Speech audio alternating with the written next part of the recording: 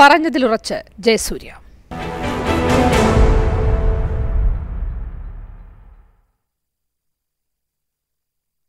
നെല്ല് സംഭരണത്തിൽ സർക്കാരിനെതിരായ വിമർശനത്തിൽ ഉറച്ച് നടൻ ജയസൂര്യ. സംഭരിച്ച നെല്ലിന് ആറു മാസമായിട്ടും നയാ പൈസ നൽകാത്തത് അനീതിയല്ലേ എന്നാണ് സർക്കാരിനോടുള്ള നടന്റെ ചോദ്യം.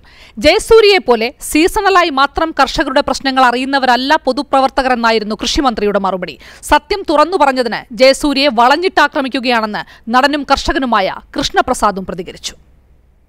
നെല്ല് കൊണ്ട കൊടുത്തിട്ട് സപ്ലൈകോയിൽ നിന്ന് ഇതുവരെ പൈസ കിട്ടിയിട്ടില്ല.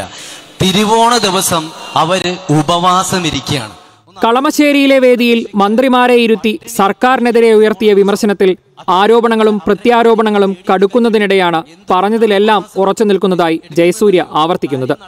ആറുമാസം മുൻപ് സംഭരിച്ച നെല്ല് അരിയായി വിപണിയിലെത്തിയിട്ടും കർഷകർക്ക് നയാ പൈസ കൊടുക്കാത്തത് അനീതിയല്ലേ എന്നാണ് ചോദ്യം. താൻ ഒരു പാർട്ടിയുടെയും വക്താവായല്ല കർഷകന് വേണ്ടിയാണ് സംസാരിച്ചതെന്നും താരം വ്യക്തമാക്കി. എന്നാൽ ജയസൂര്യ സംസാരിച്ചത് കൃഷ്ണപ്രസാദിന് പണം കിട്ടിയില്ല എന്ന് തന്നെയാണെന്നും പൊതുവായി പറഞ്ഞതാണെന്ന് ഇപ്പോൾ പറയുന്നത് ജാള്യത മറയ്ക്കാനാണെന്നുമായിരുന്നു കൃഷിമന്ത്രിയുടെ പ്രതികരണം. ജയസൂര്യയെപ്പോലെ സീസണലായി മാത്രം കർഷകരുടെ പ്രശ്നങ്ങൾ മനസ്സിലാക്കുന്നവരല്ല പൊതുപ്രവർത്തകരെന്നും മന്ത്രി തിരിച്ചടിച്ചു. ആ അദ്ദേഹത്തിന്റെ ഒരു ഇന്നലെ ഇന്നലെ സംഭവിച്ചതിന്റെ ഒരു ജാള്യത മറയ്ക്കാൻ വേണ്ടിയുള്ളതായിരിക്കും. അദ്ദേഹത്തെ പോലെ ഇപ്പോ വല്ലപ്പോഴും സീസണലായി അറിയുന്ന ആൾക്കാരല്ല. കേരളത്തെ മുഴുവൻ പൊതുപ്രവർത്തകരും കേരളത്തിലെ ഗ്രൗണ്ട് റിയാലിറ്റി മനസ്സിലാക്കുന്നതാണ് സത്യം തുറന്നു പറഞ്ഞതിനാണ് ജയസൂര്യയെ വളഞ്ഞിട്ടാക്രമിക്കുന്നതെന്നായിരുന്നു നടനും കർഷകനുമായ കൃഷ്ണപ്രസാദിന്റെ പ്രതികരണം.